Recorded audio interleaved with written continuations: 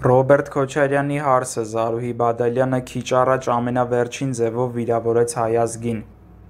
Ռոբերտ Քոչարյանի հարսը Զարուհի Բադալյանը քիչ առաջ Ինստագրամի իր էջում մի ստորացուցիչ լուսանկար է հրապարակել,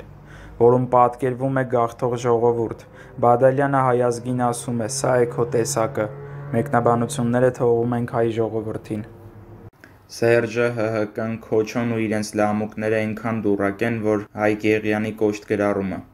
Հիշեցնենք, որ վերջին ժամանակներում Հայաստանի նոր իշխանությունը և հայ ժողովուրդը պայքարում է ոչ միայն արտաքին թշնամու, այլ նաև ներքինի հետ։ Քանի որ նախկին իշխանության շնացորդները մինչ օրս չեն դադարում իրենց գործը և շարունակում են փնովել ներկայիս իշխանությանը, Հայկ Հրայրի Եղյանն իր ֆեյսբուքյան էջում կատարել է հետևյալ գրառումը. «Հայաստանի Հանրապետության կուսակցությունը, Սերժը, Քոչոն և իրենց լամուկները էնքան հիմար են, որ փոխանակ մի տասը տարի գետինը մտնեն մեր ազգի թուքումուրից, մինչև կմոռանանք իրենց սատանաների ձևով երեսները, չեն դադարում էշեշ դուրս տալ։ Զարմանում ես մեկը չկա դրանց մեջ ավելի քիչ հիմար, որ դա հասկացնի գոնե իրենց։